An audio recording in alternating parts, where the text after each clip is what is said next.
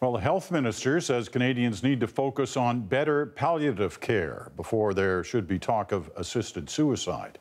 In an interview with CBC News, Rona Ambrose admitted Canada does not offer the best care for people nearing the end of their lives.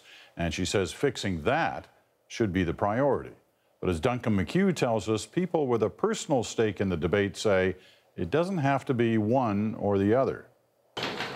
She loved to ski and play tennis, but that ended when she was diagnosed with MS. Now, Linda Jarrett wants the right to choose when she dies. It's just a very personal feeling about wanting to live with dignity as long as I can, and then to have the right to say, enough is enough.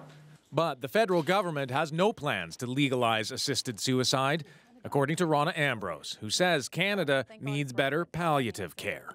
Let's talk about making sure that we have the best end of life care before we start talking about assisted suicide or euthanasia. The Minister of Health says her grandma had really good palliative care and that made all the difference to her family. Still, fewer than 30% of Canadians have access to hospital palliative and end of life care like this. Dying of cancer, Ian Montserrat considers himself lucky to have found a bed here. His wife was at wit's end, unable to care for him. If other people didn't have access to the palliative care and they would just be staying at home and all that happening to them, it, was, it wouldn't be very nice. This palliative doctor says the minister needs to back up her words with a national palliative strategy plus funding to run it. Today, the minister had neither. It's urgent. It's a it's yesterday's problem. We should have dealt with this a long time before, and it does in some way uh, fire the ongoing talk about physician-assisted dying because people are still experiencing poor quality deaths. Indeed, the debate isn't going away, with Gloria Taylor's plea for her right to die winding through the courts, Quebec pushing forward with its law to allow medical aid in dying.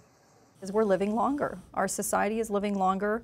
So again, I, for me, it gets back to my original point, palliative care. But that's no comfort to Linda Jarrett. I don't want to be in a long-term care facility where my granddaughters are sort of being yanked to go and visit their grandmother. If Parliament won't change the law, she says she hopes courts will. The Supreme Court of Canada hears Gloria Taylor's case next month. Duncan McCue, CBC News, Vancouver.